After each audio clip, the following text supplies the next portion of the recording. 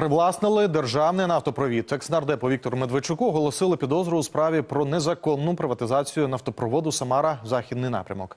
Про це повідомили в офісі генпрокурора. За даними слідства, в оборудці були задіяні ще чотири особи. А сам Медведчук був її організатором. Про деталі цієї справи розпитаємо у Надії Максимець, речниці офісу генпрокурора. Пані Надія, я вас вітаю в нашому ефірі. Е, Добрий день. Пані Надія, давайте почнемо з обставин цієї справи. У який спосіб взагалі Медведчуку вдалося приватизувати нафтопровід? Ну, власне, це державний стратегічний об'єкт. Е, Після розпаду СРСР е, цей об'єкт е, перебував у власності Російської Федерації. Однак, починаючи з 2005 року, Україна в судах доводила своє право на володіння ним.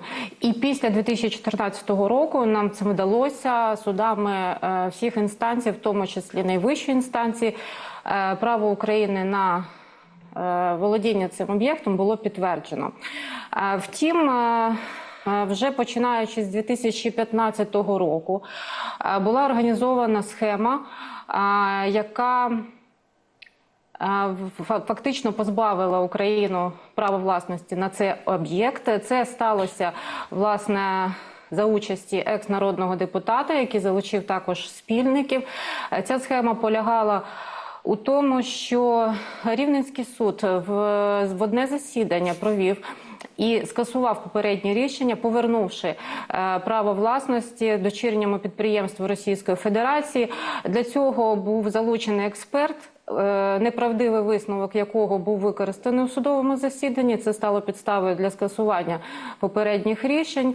І відтак е, Україна втратила е, цей об'єкт. Подальшому відбувся продаж труби афільованому підприємству. Це фірма в Швейцарії, але фактично керів- керівництво цим об'єктом здійснювалося через е, вже згадану мною дочірню компанію Російської Федерації. І за даними слідства, організатором цієї схеми був якраз екс-народний е, депутат України спільно з чотирма особами, яким наразі всім повідомлено про підозру. Е, Станом на кінець 2017 року збитки, які понесла держава, становили понад 1,4 мільярда гривень.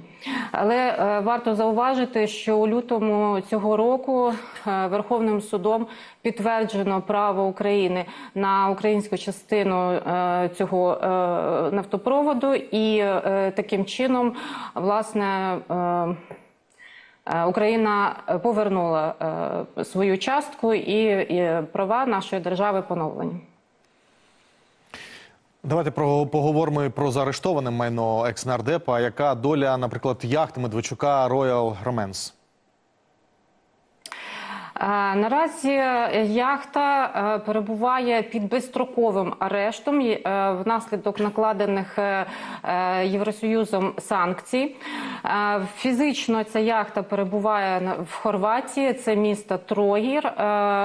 І завдяки цим санкціям залишити ці води це судно наразі не може.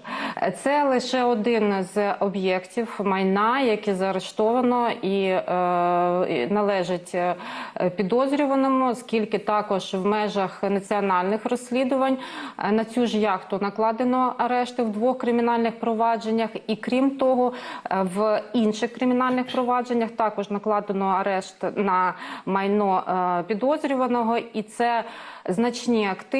Це понад е, 30 земельних ділянок, це 23 будинки, це понад 30 квартир. Це е, Величезна колекція картин, а також унікальний залізничний вагон, ресторан, який е, ви напевно пам'ятаєте.